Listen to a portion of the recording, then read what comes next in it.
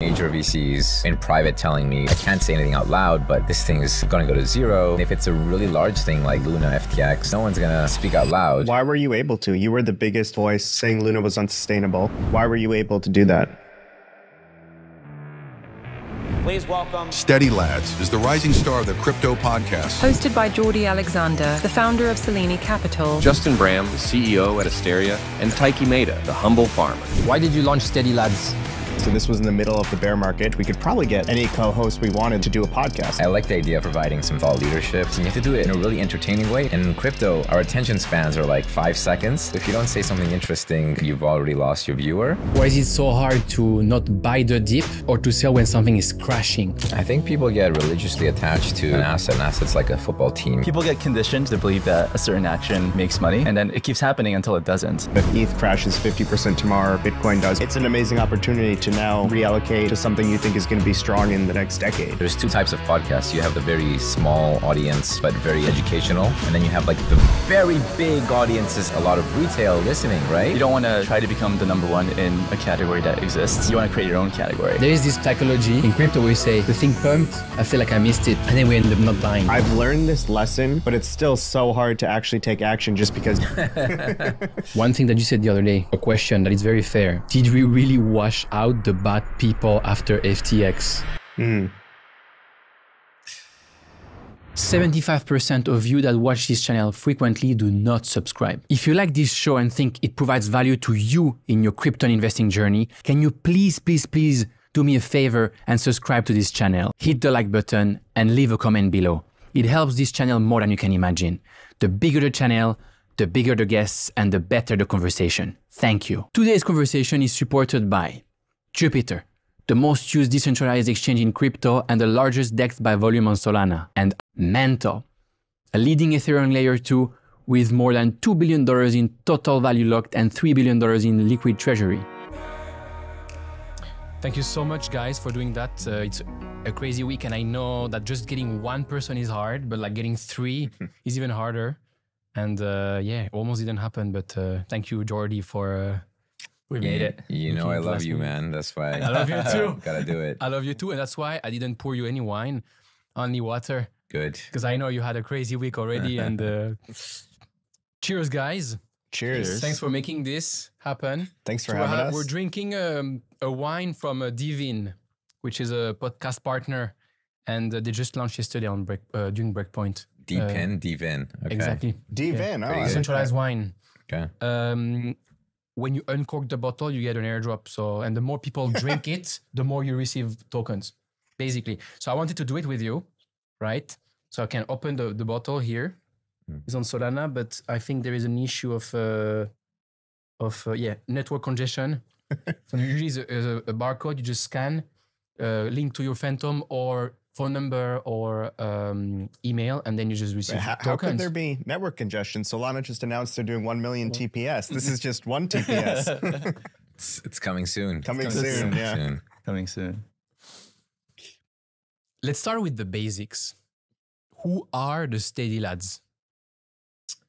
It's a community, and we represent different sections of the community. and we try to give a very consistent overall uh, outlook and evaluation of what's happening in the space in crypto.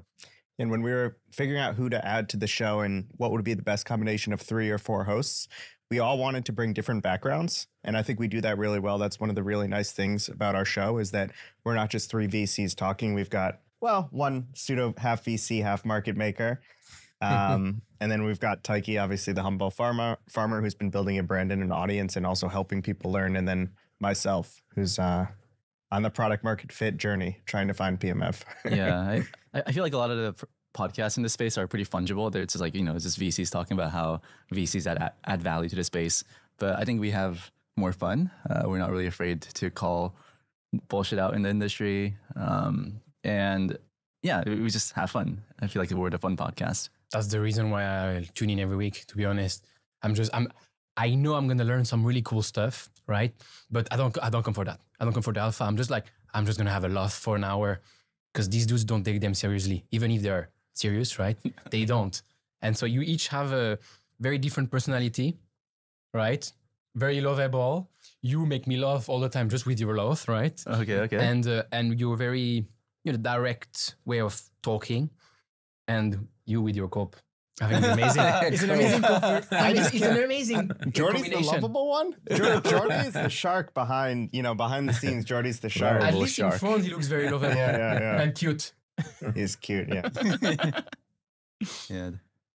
Why did you launch Steady Lads? I guess it was your idea, right, Justin? Oh, Yeah, so Taiki and I connected years ago, probably in 2020, 2021. We were both sort of starting out in the content space, and it was a small community then, still is now to some degree. So I reached out to Taiki. I said, listen, like we both have pretty solid reach. We could probably get like any co-host we wanted like to do a podcast and this was in the middle of the bear market so there was really room to start something and grow into the bull and um Taiki reached out to Jordi. Jordi, of course, said yes, and and then Jordi brought on Thiccy. So I got Taiki, Taiki got Jordi, and Jordi got Thiccy. You say we can get uh, anyone, which is probably true, but then you have to get someone who is there and smashing it every week, Mhm. which is much harder to do, especially for people who are extremely busy in the space, right? Because everybody wants, there was this kind of like uh, trend. Everybody wants to be a podcaster. It's cool, but like actually just doing it every week is a different thing. Yeah, you, you have to show up. And I put, I tweeted this, and I told everyone here uh, when we first started with, but I think ninety percent of podcasts don't make it past the third episode. Yeah. But out of the ones that survive, ninety percent don't make it past the tenth tenth episode. So just by doing ten episodes, you're already in the top one percent. So we just have to show up. A lot of people in the industry they don't show up, right? When things get hard, they leave. But we continue we continuously show up, um, and I think people are starting to recognize that. Okay, like these guys, you know, they're in it. You know, they're in it for the love of the podcast, and yeah, hopefully that resonates. I mean, for me, I don't know about you guys. It's like one of my favorite hours or two hours of the week. We get to talk to each other, which is obviously special. I'm learning a lot from these guys every single time. But we also have the privilege of being able to have really amazing guests on, and just learning from them has been fun. So for me, I don't view it as work. I think it's been an amazing experience and yeah, a lot of fun.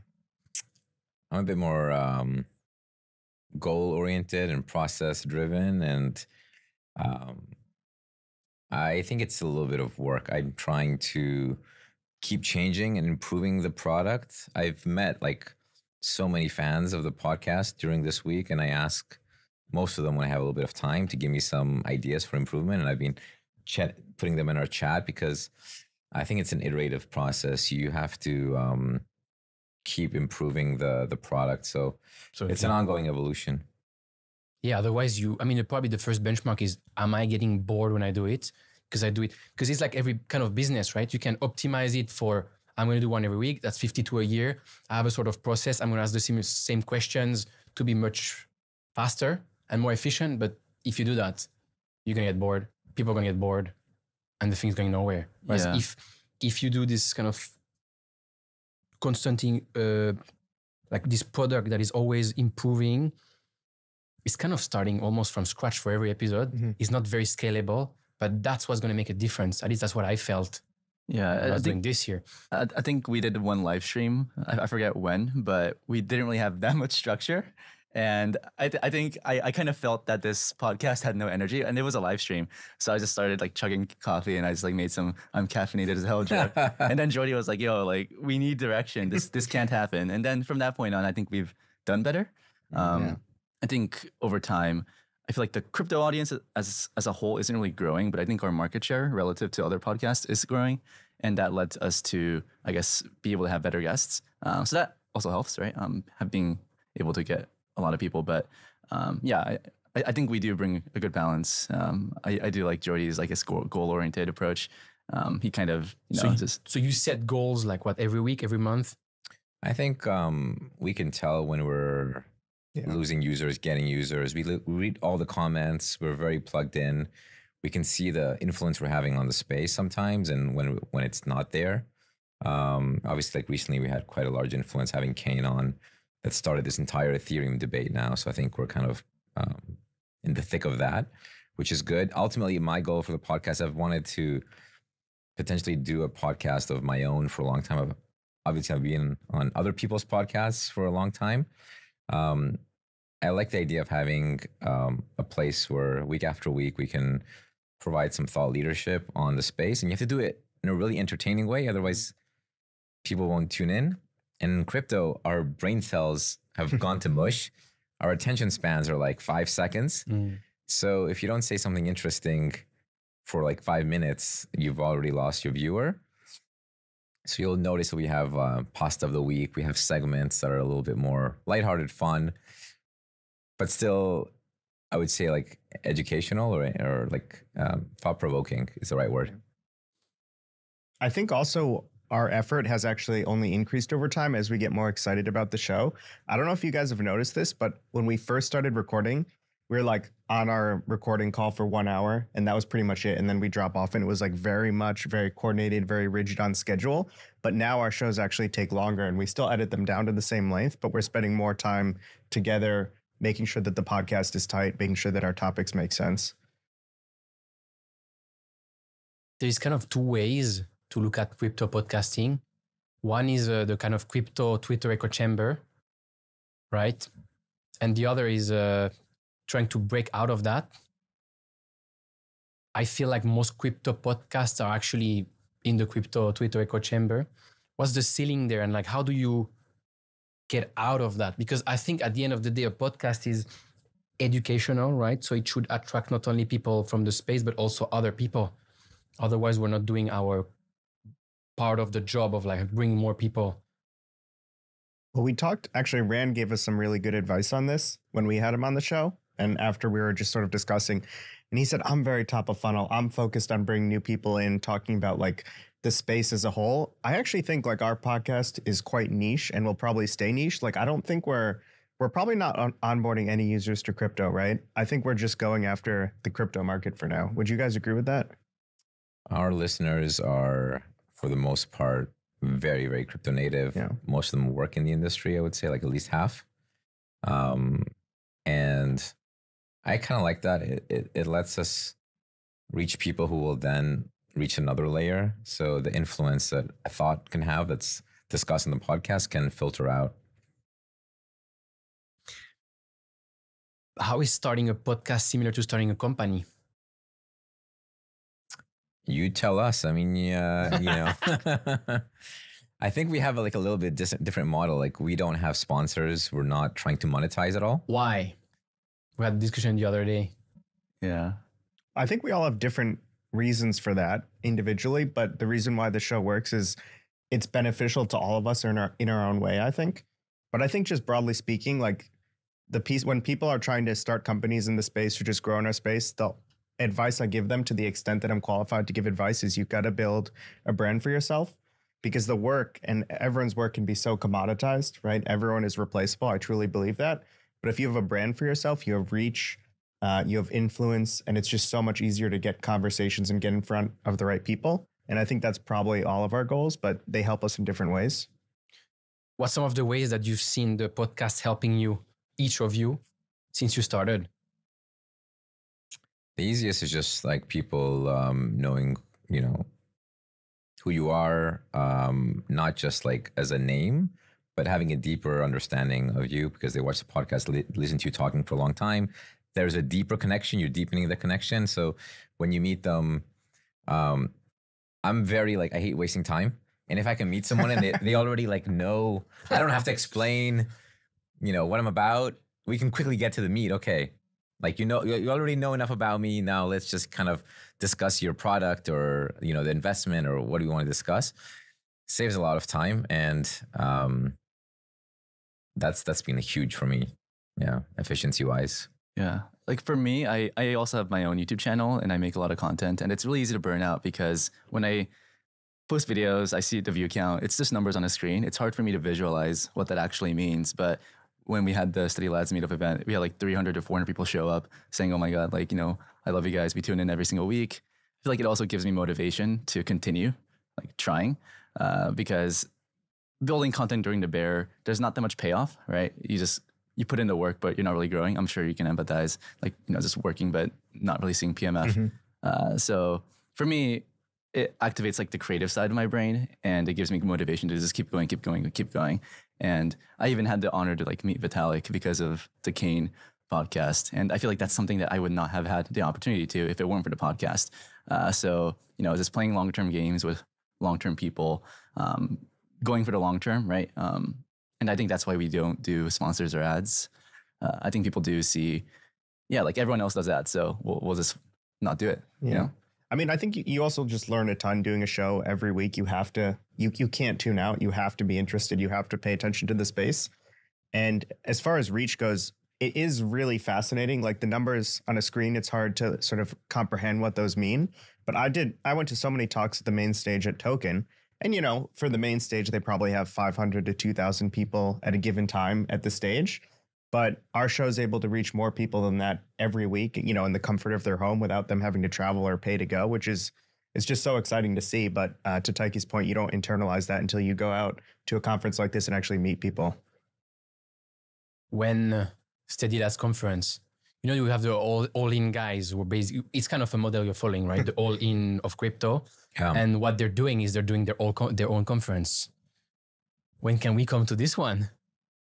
I think after the event had such a huge um, response, it was clear to us that that might be something to do next year. Mm. I wouldn't mind doing like a half day around one of these token events, maybe day before, day after, do like a half day, have some really fun guests and panels going on and do it around the content. I don't really like these um, events where it's just, you know, there's some panel, but like five people are talking and everyone's having drinks in the back and no one's paying attention. We would want to do it around the, the actual stage and the actual content. So we would design something like that, I think. Yeah. Yeah, and one thing we did that I don't think anyone else did was we did like live Q and A from the audience, and I think we had like the joke around, oh, Vitalik's girlfriend or something, and then we, I think some girl misunderstood and she raised her hands like, oh, are you Vitalik's girlfriend? and she's like, oh no no no, sorry sorry. You get like that stand up, like when you do it live, you, you get the stand up comedy element where something from the crowd can be an inspiration. Yeah. Yeah. Do you plan on doing more of these like live events 100%. or live podcasts? Completely different. I mean, first we talked about the kind of in studio thing already, which you're starting to do, right? Yeah, Which is a big difference in the kind of conversation. But then, then there's the next level, which is live podcast with a public. Um, we live in different parts of the world, but once a while, you know, we're maybe going to be in the same place. Mm. So we can hopefully do more. The difference between doing in studio, which, like you said, the conversations are better. Um, we have to rely on the strengths of digital, and that is something that I've tried to do in the past, which is get our editor to um, get graphics and like kind of show stuff or cut in clips of, you know, memes, movies, stuff like that. Um, I want to do more and more of that. I always tell the lads, um, it just it, it keeps the dopamine hits coming quicker, and that's how we grow. Because my goal for the podcast, there's two types of podcasts. You have like the very small audience, but very educational, very technical. And then you have like the very big audiences, like your BitBoy kind of things, big numbers. I don't know how much is bought it, but like there are like a lot of retail listening, right? They're kind of trash. So if you can um, do the quality Certainly. and the entertainment, that's the goal. And I don't think we're there. We're halfway there. Yeah. So Yeah, it takes time, right? And I think there's this concept of log category where you don't want to try to become the number one in a category that exists. You want to create your own category. Mm. And I think that's what kind of what we're doing. We don't really, like, n- nothing like this exists. Um, I guess it does in other sectors, but in crypto, nothing like this exists. So Yeah. um, I think we're just always changing what we talk about, the format. Um, It, it's funny because when I first reached out to do for you about like doing a podcast together and what that would look like, you were like, well, we could, but like, what are we going to do differently? Like everyone's doing the same thing in our space as far as podcasting go podcasting goes. Like, how can we be different? And I don't think we had an answer at the time, but I think we've sort of, with our different personalities and backgrounds, we've sort of grown into that, which is nice. And the, and the funny thing is, I mean, we're talking about the pod right now, but we don't really talk about the direction of the pod that much. Mm. And I guess our experiences this past year. So maybe we should do that more. we know when fun. we've had a good episode, like you Yeah. know when you finish an episode, you're like, okay, this one is going to be like this was you, it was electric, was fun, and then you know we're the ones where you know either the guy just keeps talking over you, you can't get the right topics, um, especially if it's a live stream. We've learned to be cautious on bringing in guests during a live stream. I remember It's his favorite. There was favorite one episode. specific one, I think. But it Uh, was so fun. yeah. Because your podcast, there is a lot of fun in there. I mean, you know that you can just maybe skip the part where he's talking, but you still watch. Because it's fun, and then you see the reactions of the of you of you guys, like, and it's so funny actually. So I you I still have my entertainment. Yeah, it- I have it. even Charles Hoskinson, you know, he came on. Yeah. He didn't know know much about He didn't even know we were doing a live What show. we're Yeah. doing. We're talking about his plushie, like Octo. I, for- I forgot what that was, but it was Yeah. just so weird. But But we had to break. You like break is such a wrong word, but you must understand too. Like you have to warm your guests up, and they have to mm. get into it before you know they stop hitting their normal talking points. Like Charles has very specific talking points that he can just rely on. But mm. once you get past that, and people want to hear about his life, like no one needs to hear about Cardano anymore. and I think we got there. It just took some time. time. I can tell you in this studio, that's one of the things. Usually it takes 15, 20 minutes because they're just, I don't know if it's impressed or scared, right? You have like these super successful people, but you put them in front of three cameras, some lights, and then for the first 15 or 20 minutes, they're completely freaking, uh, freaking out. Well, maybe then if you you had a to- hair and makeup studio, that would help get us more comfortable. Or maybe, or maybe more wine. Yes, but most of them wine. don't drink. So like that's the issue. I haven't found uh, the, the formula yet on how to make them like chill. One other thing that I've always done in the space, which um, you know, initially I got some pushback on, but not anymore. I'm willing to have conversations with people that um, you know, kind of black sheep of the industry, Mm. or going on, um, you know, Ran's crypto banter show. That's so interesting. um, back when like ZachXBT was, you know, going after him pretty hard. Um, you know, obviously we had Su Zhu as soon as he came out of jail. Uh, we've had Andre from DWF, you know, uh, interesting firm.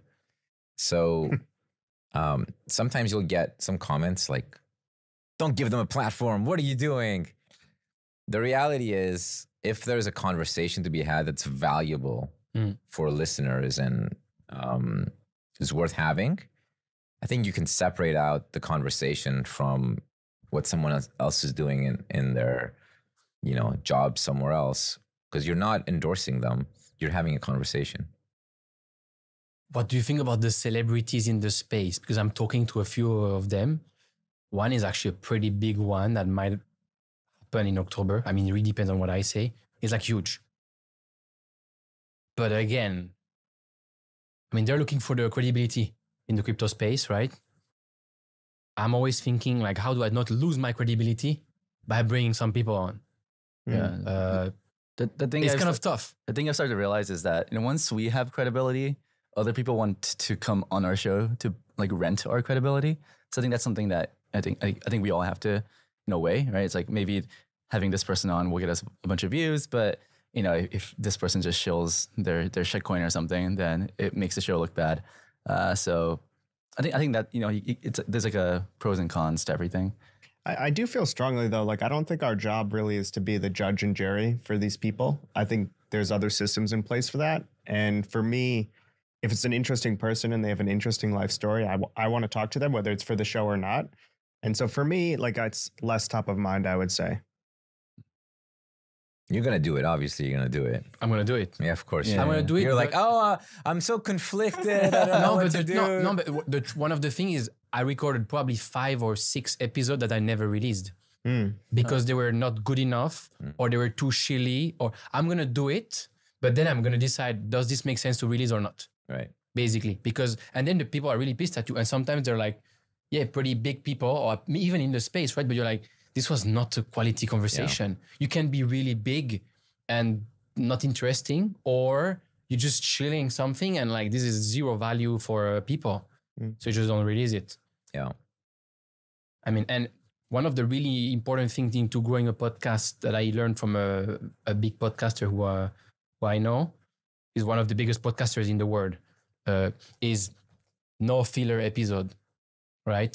So you should always, I mean, eh, eh, ideally, you should always go higher and higher and higher and higher.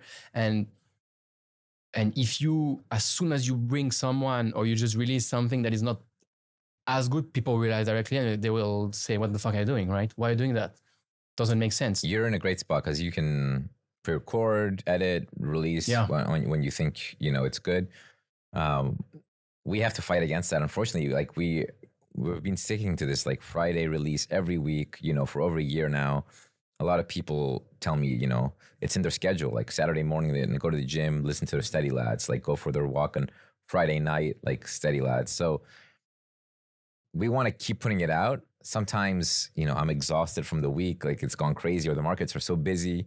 But we're still gonna do an hour, and Yeah. hopefully it's not a filler. But But Yeah. Jordi is such a jet setter. It's he has such dedication. Like we'll be on the call and Taiki and I it'll be like 9 a.m., 10 a.m. We're fully refreshed. And Jordi it'll be like, oh yeah, it's 2:30 a.m. here. But he pushes through it and somehow you never seem tired. So yeah, Yeah.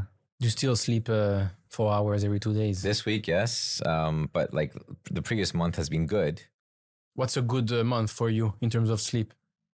Um, Sleep every night, at least. six to eight, hopefully. I don't know about eight. I don't think I've six to 7 Mhm. Yeah, it's not bad. I am prioritizing health now. I think um, personally, I've escaped the um, the fear of you know not being up for something. I'm willing to um, not be perfect with execution of everything I'm doing to get rest and get sleep. You know, you that changed in the last year. I remember a Yeah, year ago you said the changed opposite. massively, yeah, yeah. yeah. What changed? I mean, why did it change? Um, one, I'm out of I'm out of survival mode. So when you're starting a business, you're an entrepreneur. That first like few years is make or like you know you know how it is. It's make or break, Oh. and um, you front load. So I front loaded a lot. I've bootstrapped um, significant amount of safety now, um, and I think it's time to be smarter instead of harder. Yeah. Let's talk about the psychology of investing. So people know each and every one of you. And so I want to take some examples of you guys, even one of me, because I also have to make fun of myself, right? Where we're going to understand the kind of biggest mistakes we make in investing and explain explain them, right? So I have to start with you, Justin. No. of course, it had to be him. Why is it so hard to uh, sell an underperforming asset? Why is it so hard to sell ETH? Well, I think in our industry, let's just talk about crypto for now as opposed to like investing broadly. For me, and I think all of us here, we're in this industry because we're taking a position that in 10 years, crypto is going to be bigger than it is now. Who knows how much bigger, to what scale, what apps will be built.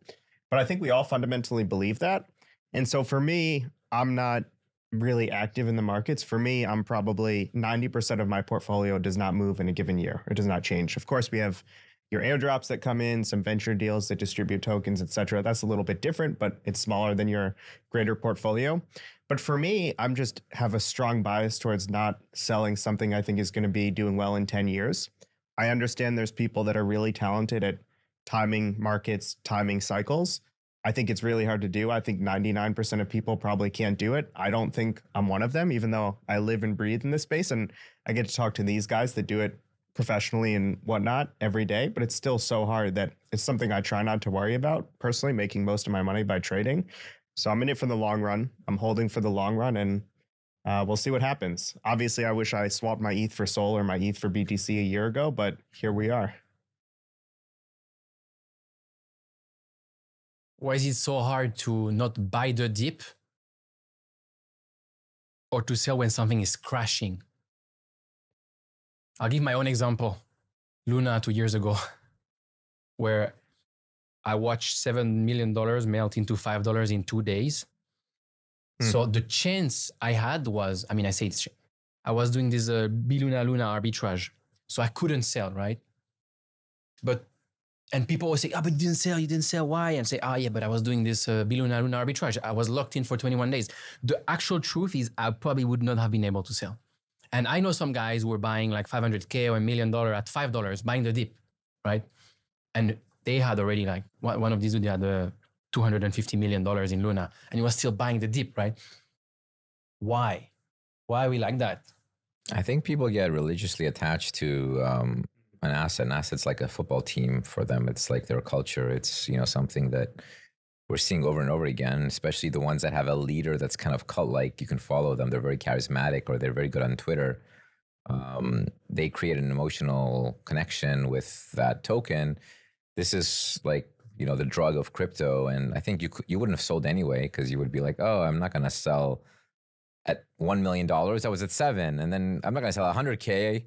You know, you still hold it down to zero. Don't worry. Of course, Don't worry. Of course, Uh, that's what I feel. I think I Yeah. would still have. a- I would. I would not have been able to sell. Yeah, you were just kind of going through the educational uh, cycle for you.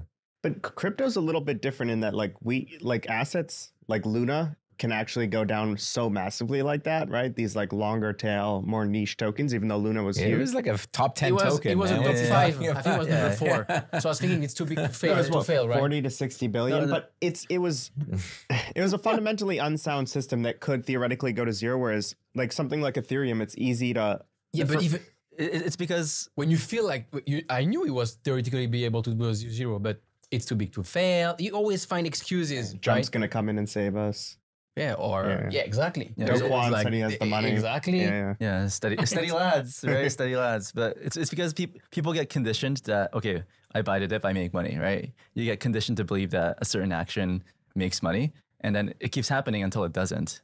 Um, it's, it's like a thousand and one days of a Thanksgiving turkey. It just keeps going up until it goes to zero the next day. Uh, so I think you just have to have the mindset that all, like eh, all this shit can go to zero. You know, like you have to have some stop, some some form of a stop loss, and understand that. Yeah, like For for me though, it's actually quite easier to buy assets when they're nuking. So I very much believe in the Warren Buffett buy when there's blood in the streets mentality. And for me, like I really do believe this industry is going to grow in 10 years. So in some ways, yes, of course it's sad if ETH crashes 50% tomorrow or Bitcoin does, but it's also an amazing opportunity to now like reallocate to something you think is going to be strong in the next decade. What's the classic educational cycle, and what do people learn? Kind of first cycle, and then second cycle. What do they do differently? And what's the what's the right way to approach crypto investing? I don't want to say to avoid that because it has to ha- it has to happen. I had Joe McCann the other day. He said you have to blow up twice, right? I don't agree that you have to blow up twice. I think once is enough. yeah. Do you I have to blow up once though? If it's twice, you, it's going to happen to you more than twice. It means um, there's there's like a black uh, blind spot.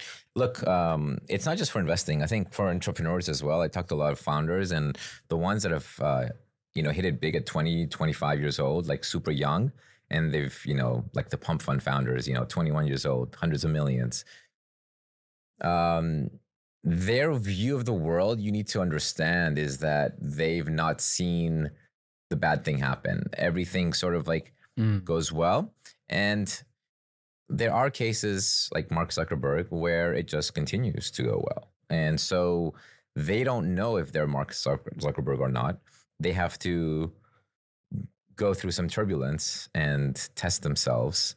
Um, as an investor, you're coming into crypto, you're investing in S&P 500, let's say since like 2009.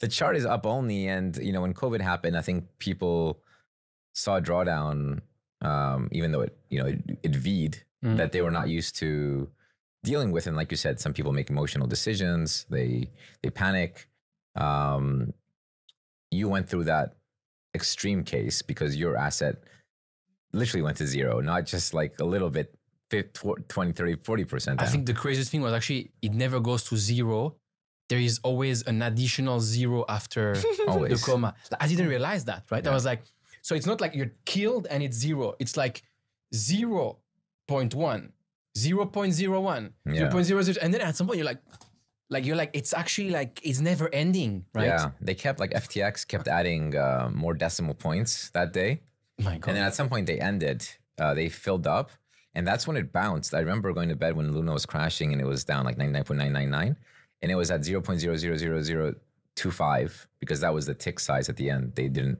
have ones; it was two five, and I put some limit orders at two five, but it bounced off of zero point zero zero zero five zero, and I think like a thousand x from there. Um, so I missed it. I missed the thousand x by one tick. you say I missed it. Just in the other day, we were talking about Sui, Hmm. right? And you said, I feel like I missed it. There is this psychology Mm. in crypto where you say, the thing pumped, I feel like I missed it. And then we end up not buying. When sometimes that's when you should kind of double down, right? I had the Daryl Wang on the podcast and he was saying, he was explaining with the Sol example, when even after two or three X, they were actually saying, now we need to double down and and bet bigger. Why do we have this? I feel like I missed it. Psychology. That has probably cost me the most money in this space, honestly.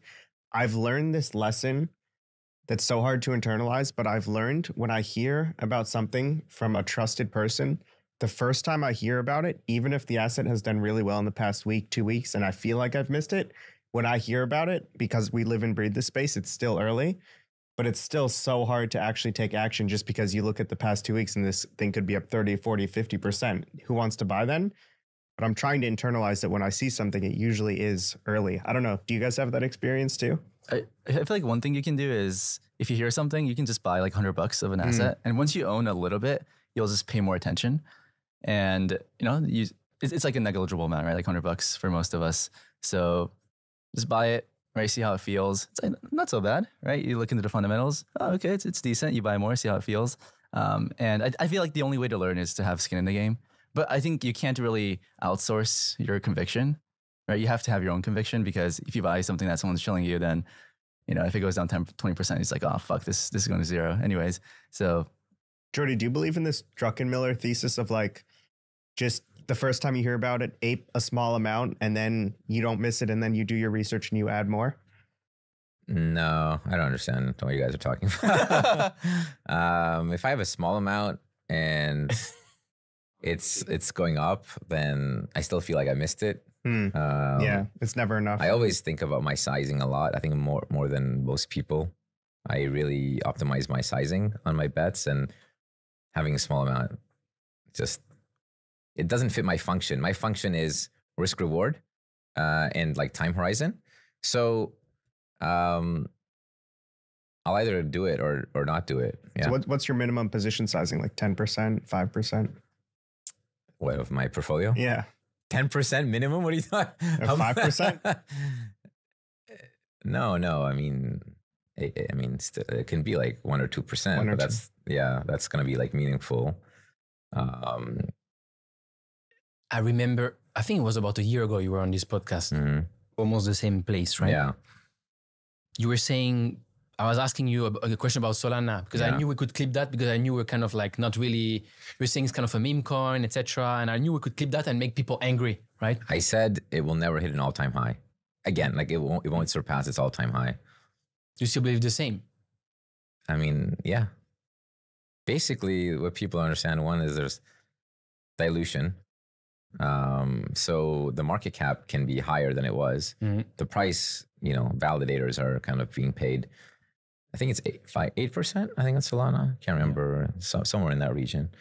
Um, so you're kind of fighting against that uphill battle, and you know, unfortunately, a lot of people don't stake or don't optimize their assets like they should. Um, obviously, Bitcoin doesn't have any staking, so that's a little bit of a, a different story. We had a little cope the other day. We did our ETH cope, ETH uh, BTC cope.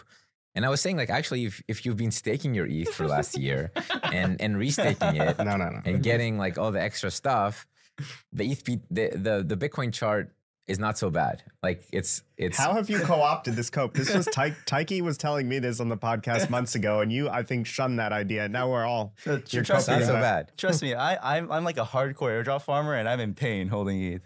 I mean, fortunately, like I, I hold like other assets and whatnot, but No, but it's like- simply, I mean, simple math, right? Like you, you, you can easily get 10% yield if you're Mm. farming with your ETH, right? Yeah, yeah. So if um, year to date, you know, this is an extreme year. Like I think Bitcoin ETH divergence is 50%.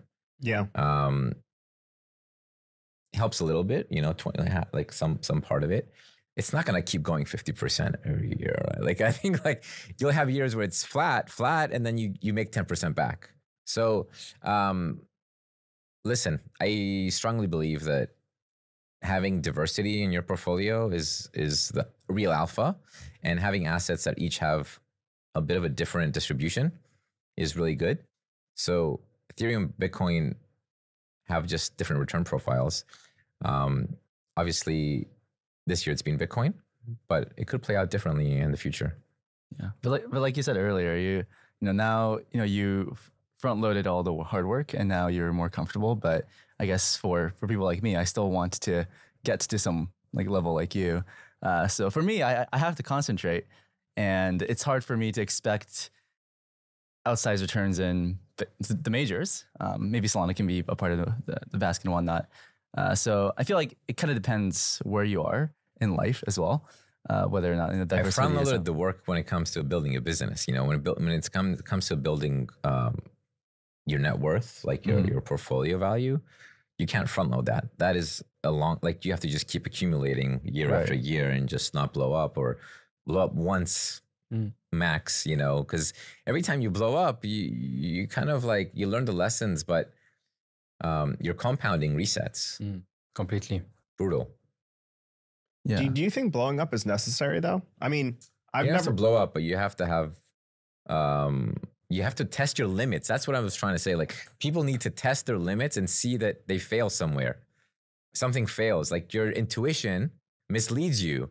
Then you can't trust it always. Mm. And that's kind of like where you you see where the universe's uh, limits lie and you stay you stay in your lane kind Mm. of, right? Hmm. Um, you just don't want it to be fatal. I mean, we've had people in the industry that um, might not recover, right? Um, yeah. So and blowing up builds self-awareness and i if you, if you think about compounding i feel like if we're doing a podcast our reputation and our credibility and our audience compounds but when it comes to money right you can blow up Mm. so i feel like oh, you can do it with uh, your reputation can be But we- disintegrated. you can build it for ten years, do podcasts every week, do a thousand episodes, and then you know you have one mistake of judgment, and and it's gone. So I don't. I think you can blow up. that's fair well. I, You I feel like we have more control over given reputation people's attention span is so short, right? One day, ah, m- maybe you made a mistake, you're an asshole, whatever. But like the day after, everybody's already on to the next story. I feel that's kind of the. I mean, as long as the mistake is not too huge in terms of like branding, but that, that's, that's like an excuse right it's like oh people are gonna forget anyway so people don't give a fuck like let's just scam I, mean, I feel like that's like really wrong mentality to have i feel like you need to have core values that you stick to I, I do agree with your sentiment. Like, I don't think you should give in to cancellation if that were to happen to you. I think you can keep building through that. Uh, Andrew Huberman, the big podcaster, Mm. you know, almost went through a cancellation, but he just kept building, kept So working. this is what you don't understand, about it. though. Like Huberman's cancellation was not related to his core Mm, uh, product, which was like you know educating people on health topics. It was like, oh, he like you know dating was lying to some girls Yeah, yeah. or whatever. Mm. His audience is not going to care about that. However, let's say you're Arthur Hayes and your you know your audience relies on you for um, predictions about macro or the market, and you know you, you're like very very convicted, and you go out there and you're you're very strongly convicted, and you're wrong, and then wrong wrong wrong. At that point, yeah, it's core to your brand, so you have to be a little bit um, careful about what you're yeah. uh, getting wrong. Let's say.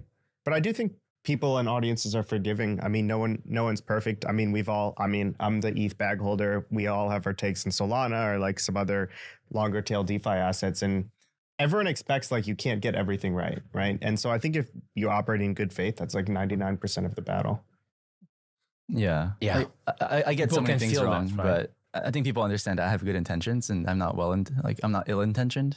Yeah. So, you know, Yeah. people are forgiving. This is like why having Taiki on our podcast is um, such a good, you know, cornerstone. Let's say out of the four people usually we have on, on a show, you have someone that um, has turned down all these like seed rounds and all these things because he he re- like you know I, I know now maybe um, you're you're doing an echo group and, and Yeah, yeah. changing that a little bit, but um, he has given up dollar like real dollars and like real like crazy opportunity in order to keep himself you know uh pure like you know aligned with uh, his community and not biased by opportunities that he's seeing we want to have someone that has that perspective because people listen to the show and like okay what's his take okay because he's like the clean guy maybe a little bit mid-curve sometimes but like he's not trying to like swindle you Yeah. you can like let your guard down.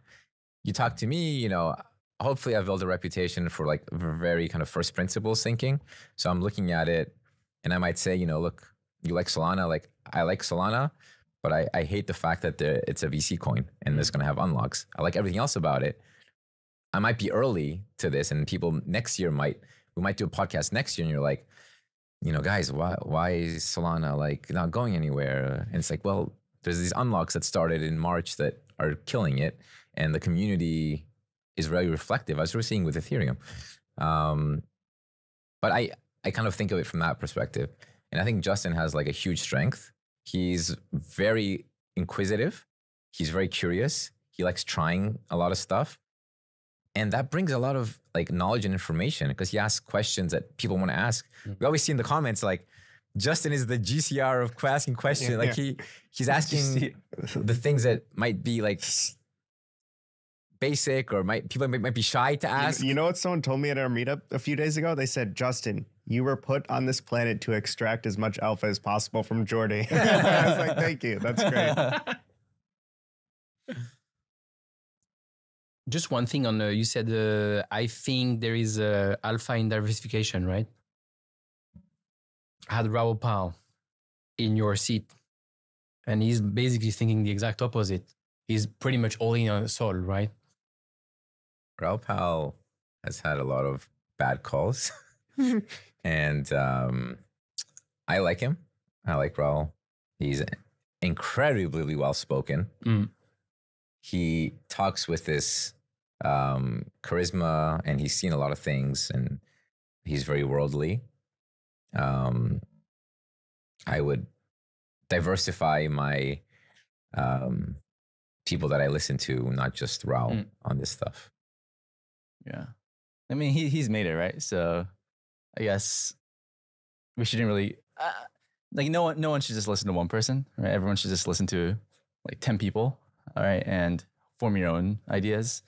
Uh I mean, the way to think about it is okay, you have high conviction in Solana, let's say, or some bet. That can be okay if you have some unique insight that nobody else has. Like, do you have some private kind of, you know, way to look at it that nobody else is understanding? And the market is so inefficient and mispriced that you should be all in on this thing. Then, okay, that's totally fine. You're talking about a, a very large asset with millions of holders already. All the funds are already in. People understand what the roadmap is, what's going on. It's it's hard to be so concentrated on something that um, has consensus already, right? Yeah. One one thing I realized on the Singapore trip is I've been talking to a lot of fund managers, and we talked about this in the live study last episode too. But everyone is just bearish ETH and Celestia because of the unlock, and bullish Solana and like Aave because I mean it's going up. Do you think going to these conferences, talking to people, talking to maybe a few funds, seeing what is quote unquote consensus? Do, do you think it is consensus, or do you think it's just that a subset of group or subset of individuals, uh, and you're like kind of extrapolating what consensus means for the entire market? Yeah, let's let's refill the wine. Yeah, yeah. Thank you, sir. I mean, when it comes to uh, like alpha from conferences, Thank you. you're right that a lot of it is not what people say, but just looking at how much money is being spent on parties, you know, which projects are um, trying to push what out there. I don't know if um, you were ta- you were having a hot take that you think you think conferences are a waste of time. I think that's a great way to Uh, continue. Actually, the the, the next session, section is like lads' thoughts discussed, Mm. and one of them is that.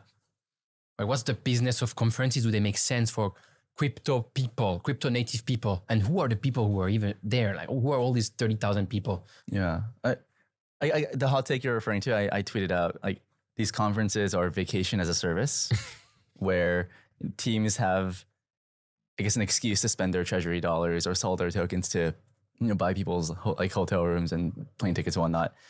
I was more referring to Token 2049, like these sponsors. Um, I, I angered like the actual builders, which I guess I should have considered.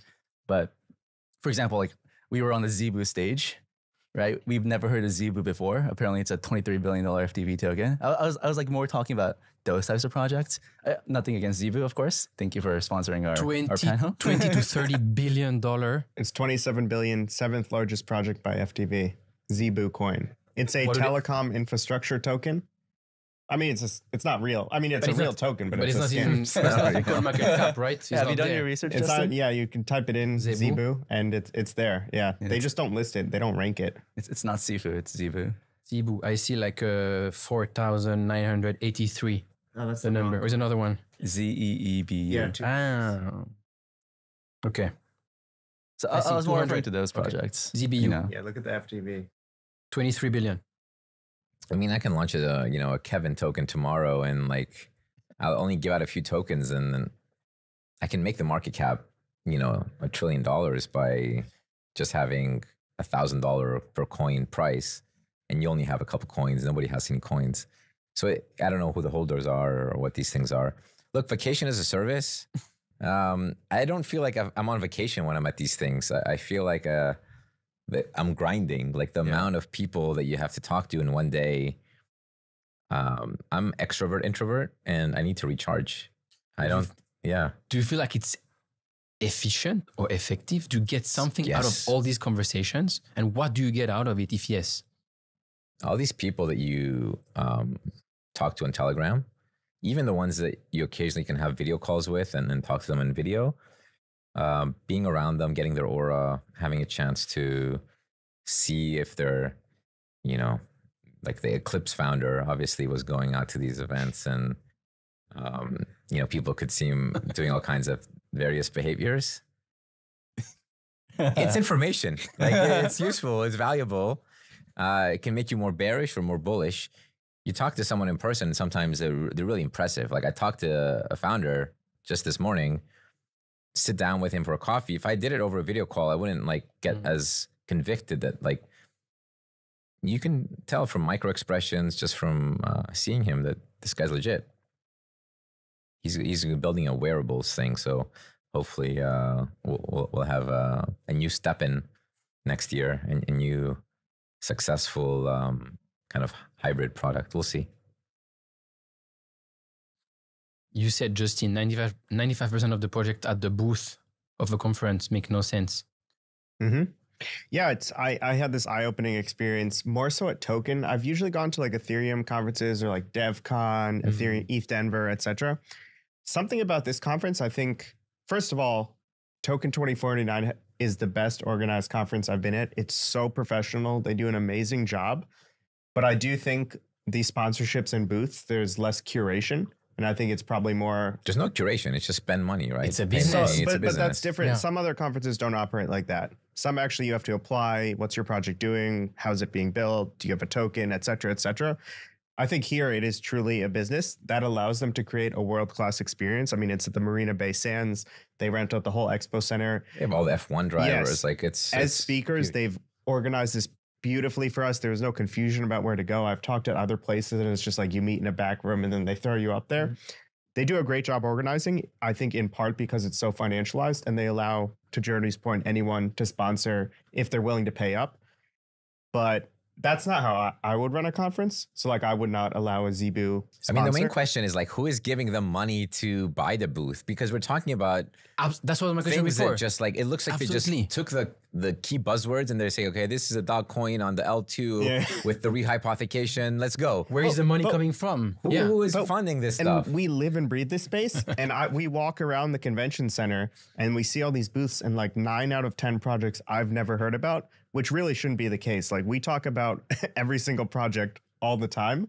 And so I'm wondering like, who are these people? Where are they coming from? And who's paying for the projects? It's, it's absolutely bonkers. Who are these people?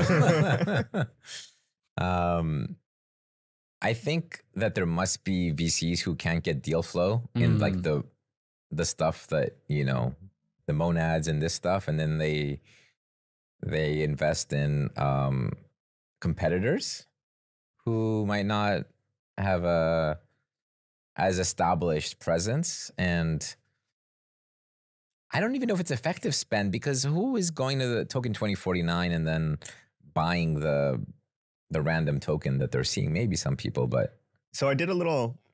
I, I agree to that point. Um, I did a little research on Zeebu. So I went to the landing page. I watched their like marketing videos. I went to their YouTube channel. No one's really watching these videos. They all have like 40 views, 50 views.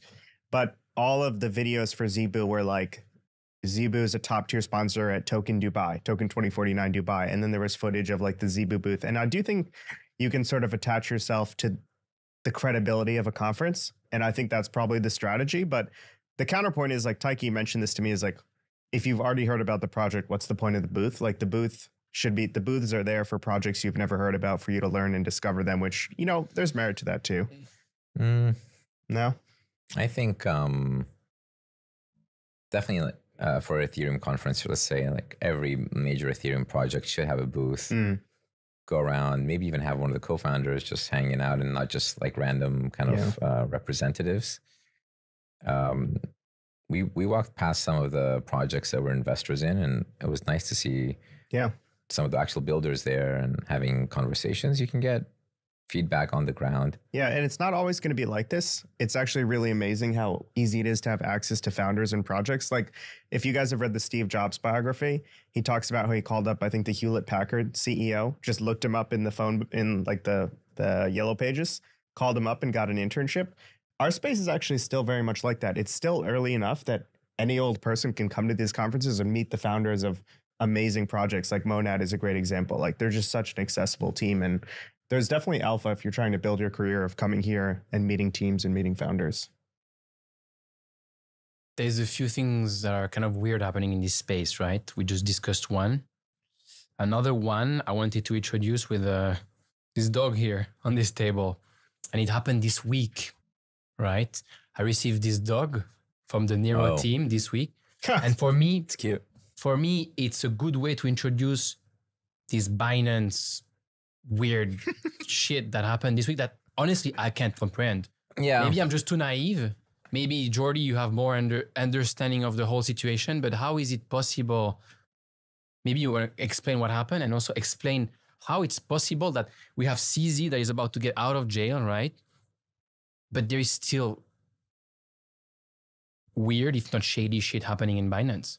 Feels like things are not changing. Um, these uh, exchanges are a combination of like very effective operators, and also there needs to be you know commercial people because if you're going to win as an exchange, if you're going to be very slow and just you know wait for uh, Coinbase, let's say, you know, just they're eventually going to win a bunch of stuff, a bunch of categories, just like they've won the U.S. retail market.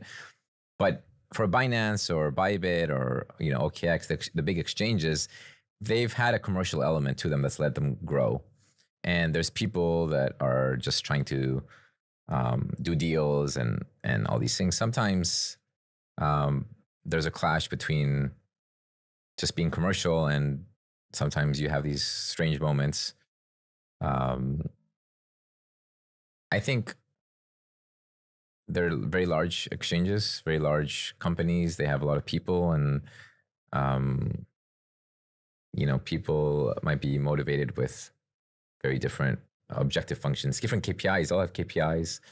Um, I don't know if you're familiar with Chinese companies, let's say, but they're very KPI focused, and sometimes Mm. you see this in all kinds of things in life. But one part of the the body might be you know op- trying to optimize something and that's their kpi and it ends up not being good for the whole body right? So i think this is one of those examples.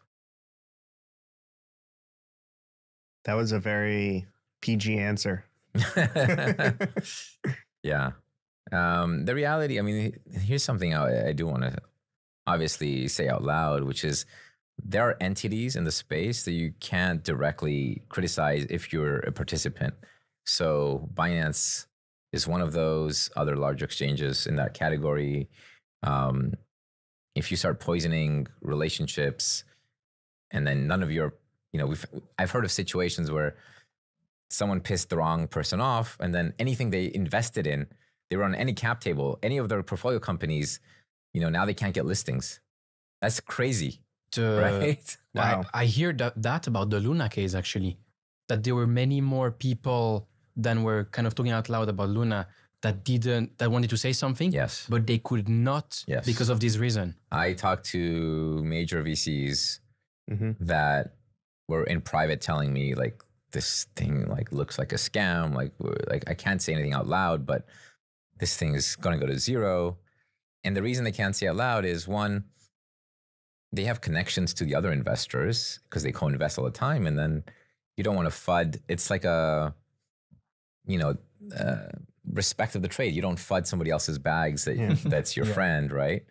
So then they end up not saying anything. And if it's a really large thing like um, Luna, FTX, like this kind of stuff, everyone's gonna have friends in that, and then no one's gonna speak out loud. Why were you able to? You were the biggest voice saying Luna was unsustainable. Why were you able to do that? Um, probably because we, you know, what wasn't as big at the Uh-huh. time. You know, it was more of an individual thought. yeah. So when I did, was doing it with Olympus DAO, Yeah. um, yeah. all these stuff. You remember? yeah, yeah. Had you on my channel. I mean, some of those people, I would say, kept grudges for a long time, but a lot of them, thankfully, had, you know, even though they hated me, they they messaged me two years later, and they're like, Legend. "Oh man, I had blinders on." Um, same with Luna, obviously. You know, I had a debate with Jose from Delphi, who was one of their biggest backers, and Mm. um, you know, there's no ill will Yeah. um, I think I've learned how to do it respectfully now as well. Um, so, I mean, with Solana, for example, I love the community. I'm invested in so many of the apps, so very pet, active participant. Uh, just because I don't like VC unlocks doesn't mm. make me Yeah. kind of a- an enemy of the community. Yeah. I feel like that's also the Steady Lads. Maybe that's something that we can do that other podcasts can't do is to speak up on things and be honest about what's happening in the space. Maybe other podcast like VC podcasts, they're incentivized to just say nice things and you know say vanilla things to just maintain their deal flow and relationships. But I feel like that's one thing that we've done a good job. Yeah. I mean, every single one of us, if you ask us our opinion, we'll give you our honest opinion. I don't think any of us will ever sugarcoat something or fluff it up. Like we're very straightforward people. Yeah, like even like DeFi founders, like I, I'm like really bullish DeFi right now, but I'm like fudding 95% of DeFi tokens, and some founders are like upset at me, but it's like I don't really care, you know. I'm, I'm just being honest. I'm just mid curving my in my own lane. There's feel a lot of props for that. I mean, there's a huge cost to doing that, right? Like it hurts deal flow, it hurts connections, it hurts speaking opportunities, all of these things. But so it takes courage. I mean, Yeah, but ultimately, when you do that, you're gonna earn the respect of the real people in the space because they are able to recognize it. Yeah. So we mentioned uh, Luna and FTX, right? One thing that you said the other day, Justin, was a question that is very fair. Did we really wash out the bad people after FTX? mm,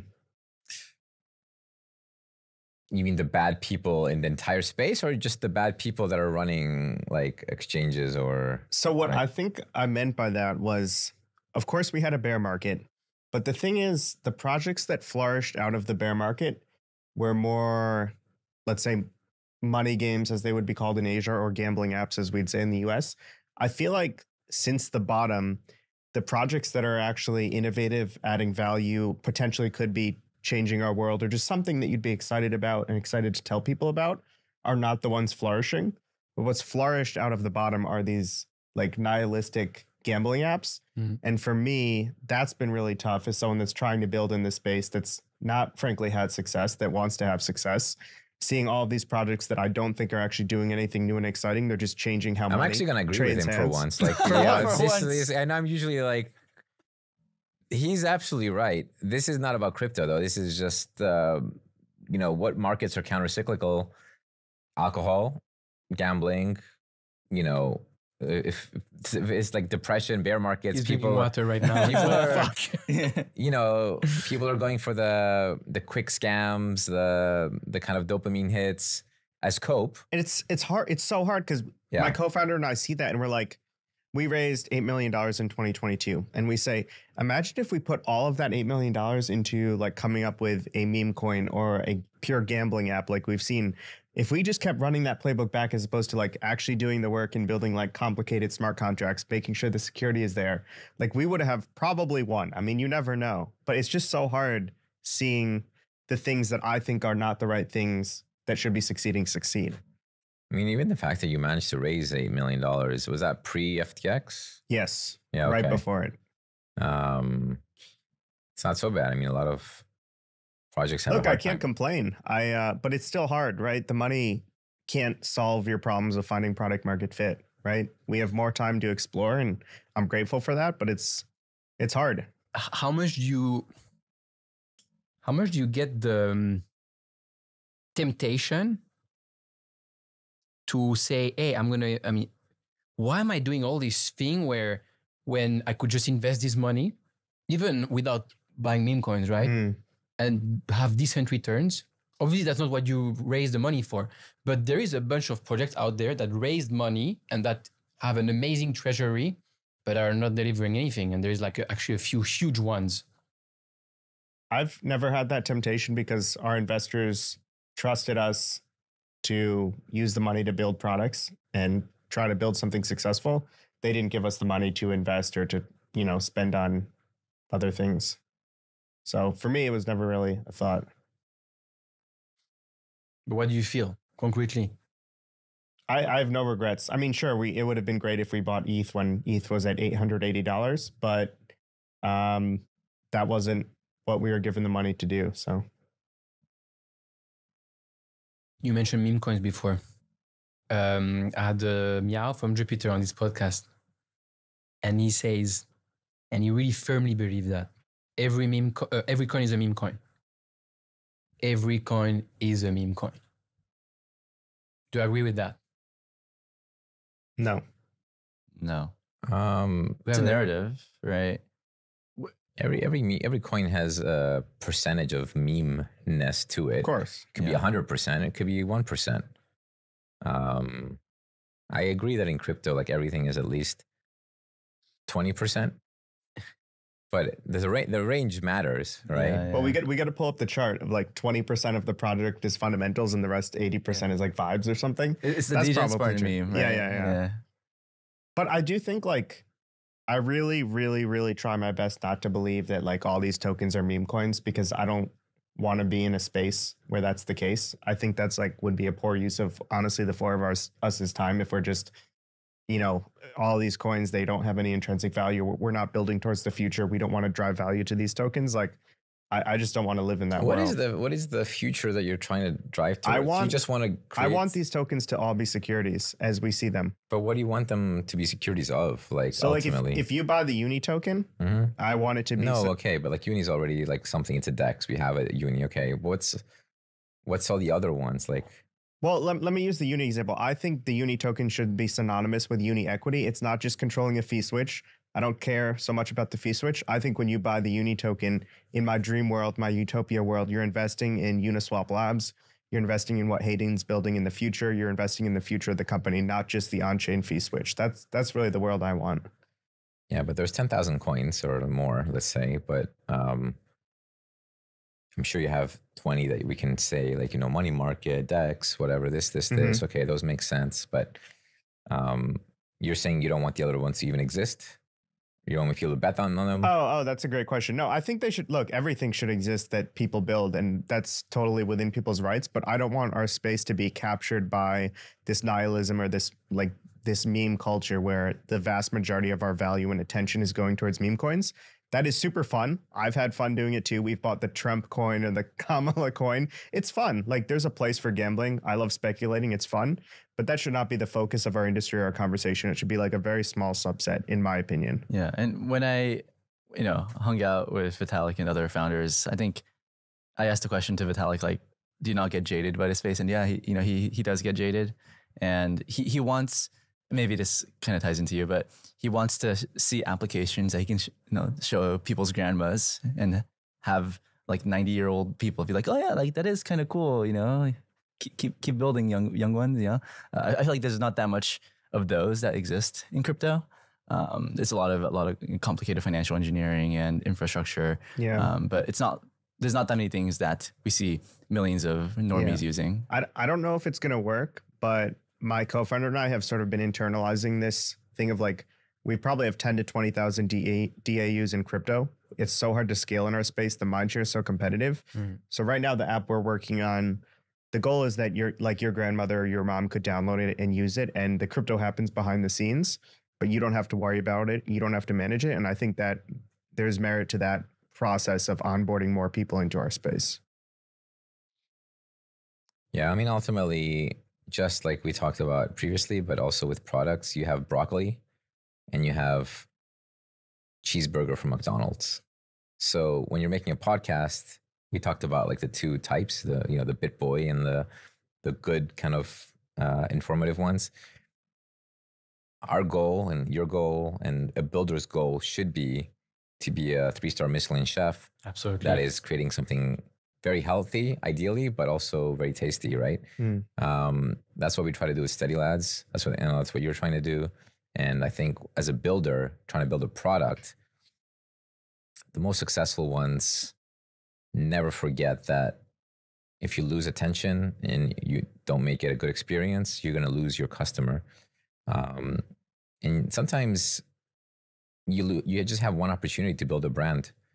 If you have people try to use your brand, they come to your decks, they come to your product, and it's just like terrible. You might fix it and then try to say like, "Hey, I fixed it." It's too late. It's too late. You've like um, might as well just start over at that point because there's only that many users in because crypto like right now. you, you you've tainted you've tainted your brand you can grind through it and people say like oh you know like um you know drift was like really kind of clunky but if you try it now it's going to be really good right you can try to grind through and and and, and recover out of um, but ultimately it's easier to do it the first time right Yeah. Yeah. Uh, I really like the cheeseburger broccoli analogy, right? It's like if you if you have like a regular crypto guy and you offer a broccoli, it's like no, like fuck you, like get that away from me. But you give them a taste of the cheeseburger, it's like oh, that's pretty good, and then you give them the broccoli, you get their attention, then you give them like the good thing. you give them the broccoli in the cheeseburger. Yeah, and then you know when you say bye, you hand the cheeseburger. It's like oh yeah, yeah I, had, I had a pretty good experience. So I'm very bullish on the very few founders that have been able to do both. Mhm. And um, some of the chains that are hyped, though, um, they have a chance because they've built a community without a product. Um, Monad, Hyperliquid, even Berachain, very interesting ability to create the um, the tastiness. You know, there's there's like uh, cartoons, things that people like. They all have their cat or their dogs or their, I think Mora has some hedgehogs and Molan Yeah. ducks and different things. Great. Now give them the broccoli, you know, combine it in uh, with like a very good performing technology. And let's see if you can make some magic happen. I think as a kind of closing thoughts, I have uh, something that you said Justin the other day, which is something that I think everybody should hear and kind of accept. No one knows what the fuck is going to happen in the future. No one knows. And even the people you think know or act as if they know, they don't know. hmm Yeah. You just have to focus on what you, what you have control over, right? That's that's like the only thing you can Yeah. do. Yeah, uh, the inspiration for that came from Haseeb. Had a blog post from 2017. Haseeb is, I think, the managing partner of Dragonfly, one of the most successful and largest crypto funds in our space. And in 2017, he said, "If you're thinking about an L2, building an L2, don't. Everyone's already been working on that for years. The problem is well known. Everyone's trying to solve that already. You're going to be late, and don't try to build another L1." And it really just goes to show, like, even the most prolific minds in our space, and this is not to knock him at all, we're all guilty of it, but no one can predict the future. Obviously, 2017 would have been the perfect time to start an L2. 2018 as well, 2019, probably even 2020. A lot of the most popular L2s, you know, are just came about in recent years. So, yeah. I guess yeah, like having humility, right? Just not having an ego. Uh, I could be wrong. We could all be wrong. It is what it is. I think you, you, again, you, that's the broccoli talk, man. These guys are broccoli boys. I don't know. Broccoli boys. you gotta you gotta have Or your hot takes. You gotta you gotta give people hot takes aggressively, like you know, say something that uh, you predict, and then say that it's you know it's ninety five. It's not. You can never be hundred percent. So what's the hot take now? Uh, ETH, ETH going up, Sol going down? That's the last question. What's your biggest prediction for the next 12 months? For me? Everyone, one after the other. the broccoli boys let's, first. Let's start with DeFi boys. broccoli boys, DeFi boys? I mean, boys. I'm I'm Omega long DeFi coins. Uh, I mean, I'm super long Aave in, in the uni. I, I feel like, I mean, like I, I have no idea if it's gonna happen, but I feel like the pendulum has swung t- too far towards financial nihilism, that I think the next logical step. I, I feel like people want to believe in something. People want to see a world where Are you people, or do you think the majority of the people, or do you think, I mean, on the other side of the pendulum, meme coins, right?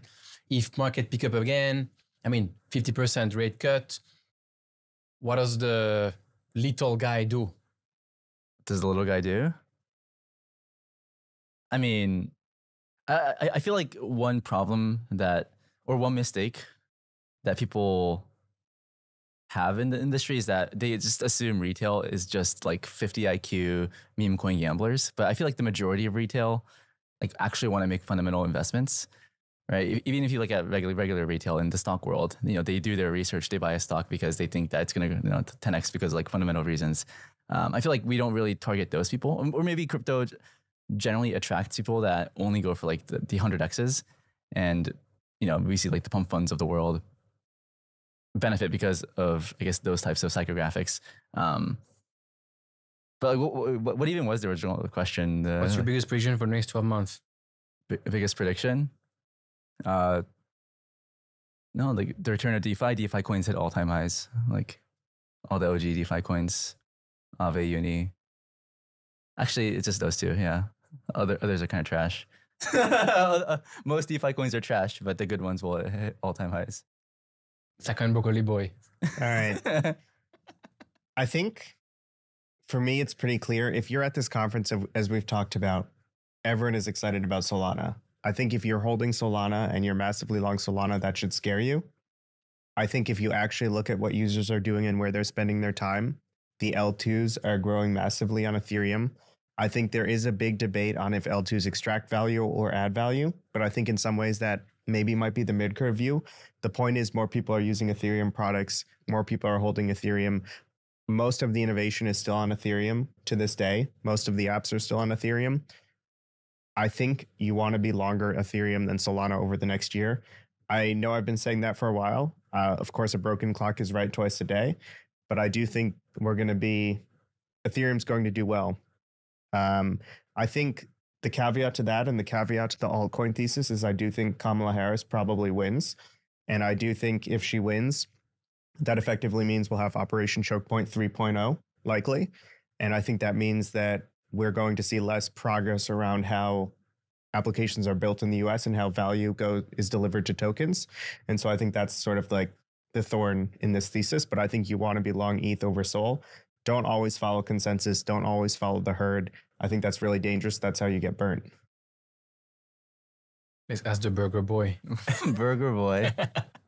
The burger I mean, broccoli uh, boy. Your your 12 months is puts me in a tough spot because I'm very good at predicting, uh, you know, next weeks because I I really see the flows and I see what's happening. I really know what's going to happen uh, in the very very short term, and I'm I've been proven over time over the years that I'm quite perceptive from first principles at predicting five years or three years, you know, quite long term, and eventually those things happen. I'm often early, so um, when I say a 12 month prediction, could happen in three years, and and we'll see. Um, so I, I can't really say too much about 12 months. My main takes are. Um, the difference between a meme coin and a not meme coin will start differentiating, and um, you know I like Meow, but I think that the putting it all together and it's just like it's all the same thing, like this stuff. Um, I don't know if it's 12 months.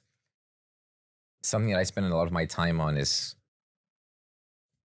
differentiating these different assets. Um, I think the space is learning through all the super intelligent people I meet that we're collectively trying to figure out what are these assets that we've all created and these dogs and like uh, how many Neiros and like how do we determine the real value? Um, the role of exchanges, the role of individual countries that are not part of the English speaking crypto Twitter. You know, you have massive countries like Turkey, Japan, Korea, Brazil. They have their own echo chambers. What's their impact on specific parts of the market? Mm. It's it's taken me many years, but like I've started to understand the influence of all these factors that you don't see day to day if you're just in one part of the world and one part of um, media. So I believe that we're figuring things out. The role of tokenomics I mean, my hottest take is like tokenomics are complete trash right now. Mm. We'll be looking back in 10 years at the dumb shit that people were designing their projects around, and it'll just look like barbaric. Um, it's a very difficult topic, and you need to understand that founders of a product don't usually have expertise in this kind of tokenomics or in the sort of more token as a service as a product they're building their chain. They're not Mm. building a token. Um, we'll eventually get a lot of better things right. Right now we're in the crisis mode. It's just like oh no high high, high FDV low float we're all losing money. Yeah the tokenomics are complete trash. Mm. But uh, in 12 months we we will start to have better models around that um, and it might become an investable asset class for these normal people who just want to you know put 20% of their savings into something that will you know give them good returns over time and and and be sustainable But you're you're bullish for the next year. It sounds like. Um, look, I've been very public that if you're short anything against the dollar, you're long the dollar, and you don't want to be long the dollar. Hmm. So the bears have not convinced me because I always know that money printing keeps coming. Liquidity will not stop. We are nowhere near the end of the political desire to print money. I've seen in Europe when they've had periods like Germany 10 years ago around this this time they created this like huge austerity and they convinced their population that this is for the best and inflation went to like negative in the euro they have negative interest rates we are so far away from that with the US dollar there is so much from both sides desire to just make people happy and just print money that you have to be long sound money and sound or even speculative stuff because that that will also do very well. You cannot be long the dollar. That's it. Amazing, guys. I really want to thank you for making it today, first of all, but even more for making my week every week and probably the week of many other people, right? Thank you. uh, like this i think this mix of uh, alpha and uh, fun and not taking your, yourself seriously is so needed and uh, i am a very normal person so i guess if i love it there's probably many other people who love it and appreciate it so thank you so much Thank, Thank you. you. And I also want to take a moment uh, at the meetup events that we had. I I had a people, few people thank me for the, the content that we've been providing, and it meant a lot to me. So I also want to thank you, Jordi, you, Justin, and you also, Kevin, for you know just I I guess like building Steady Lads with me, and also you know you uh, you hel- you helped me like inspire myself, and you know seeing you grind also like uh, makes me think that I need to grind harder. So thank you, everyone here. Uh, Cheers. Cheers. yeah, ma- cheers. cheers guys Crypto wouldn't be the same without you guys. So thank you, sir.